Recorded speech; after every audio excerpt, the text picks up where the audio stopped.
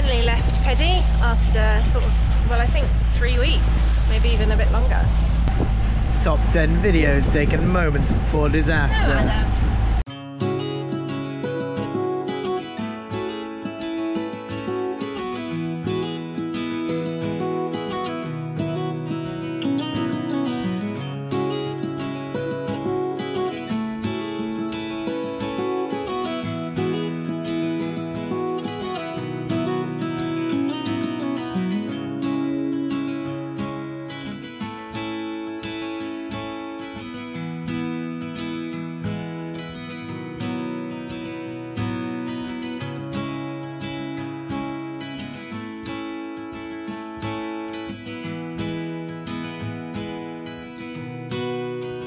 Hello and welcome back to Two Get Lost. Last week we'd just been alerted to the fact a hurricane was forming in the Med and heading straight for Symi.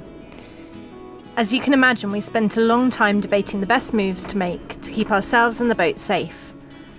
When something like this happens, the sailing forums and Facebook groups are incredibly useful source of information, with everyone keen to help and lots of more experienced sailors offering their advice. We started to search for a hurricane hole that we could reach in time, a bay with as much all round protection from the wind and waves as possible, but also somewhere with good holding, preferably sand or mud, and enough room for boats to be spread out in case of dragging.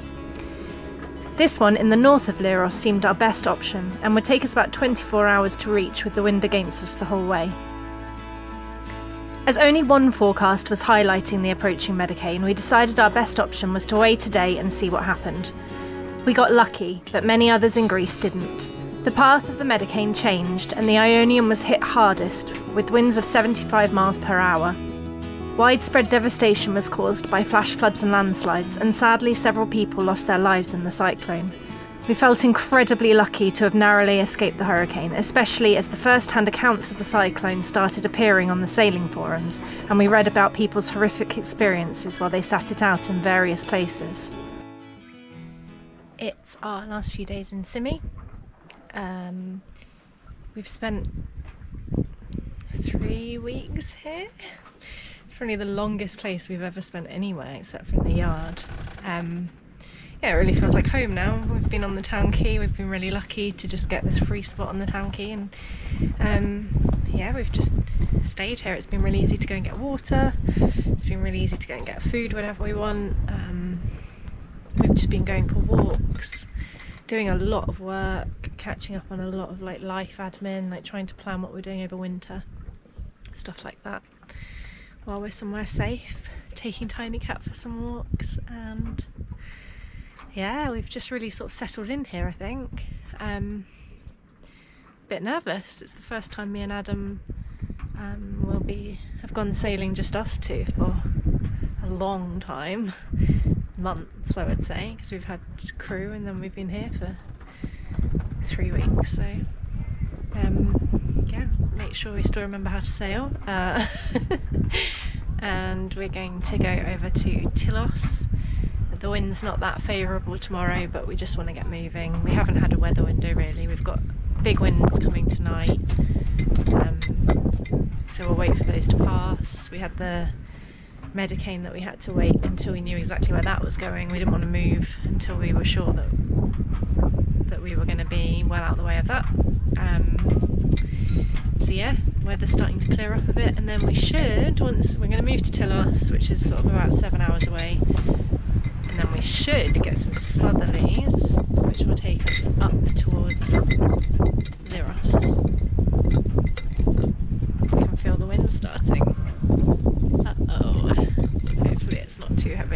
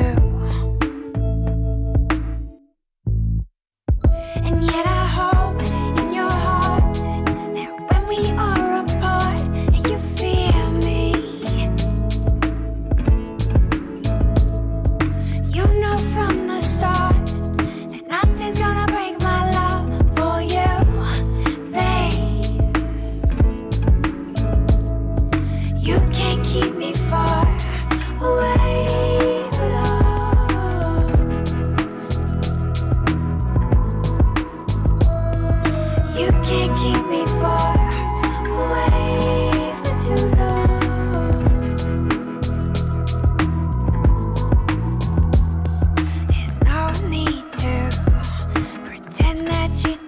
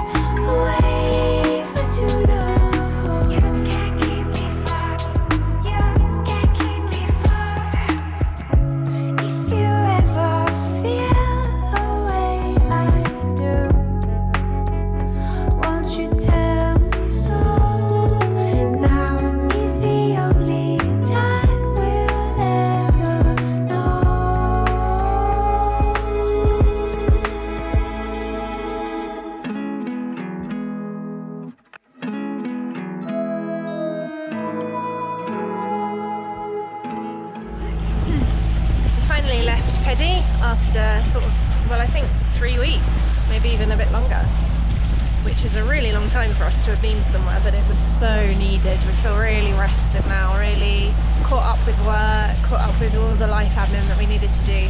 Um, and now we're on our way to Tilos, Tylos.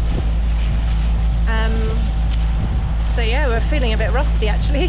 Three weeks just on the town quay, not even at anchor. We're a bit like, oh, I remember this sailing thing.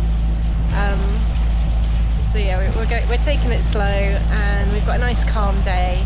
The wind should be picking up, but by then hopefully we'll have reacquainted ourselves with sailing and yeah, got a nice sort of seven hour passage over and hopefully good weather. Hopefully we'll catch a fish and hopefully Tiny Cat will stop biting my leg and hopefully um, Adam won't be too tired and won't need too much more coffee to wake up. That is the passage update. Top 10 videos taken moments before disaster. Adam. Say that. Going Actually, through a pass, little narrow pass between two islands. It, it says it's fine. Basically, we've lost our depth sounder. Um, it's probably just fouled up or something, but it's at a really bad time because we're going through this like, tight narrow, passage. narrow passage. On the chance, it's like 20 metres deep, so we should be absolutely fine. But I don't know, you always get a little bit nervous getting close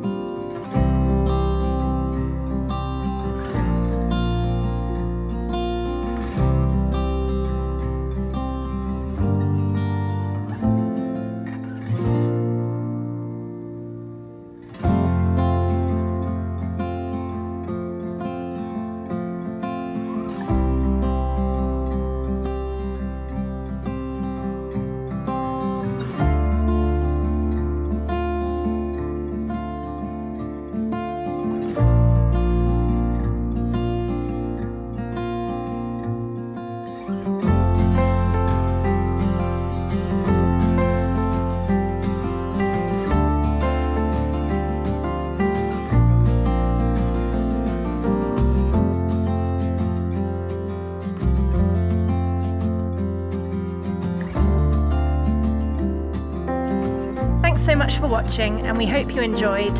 If you did, hit the like and subscribe button and check out our website, twogetlost.com, for loads more information about living a life at sea. As always, a huge thanks to our patrons for supporting these videos. Follow the link below for early release videos and behind the scenes news of our adventures. Have a lovely week, guys.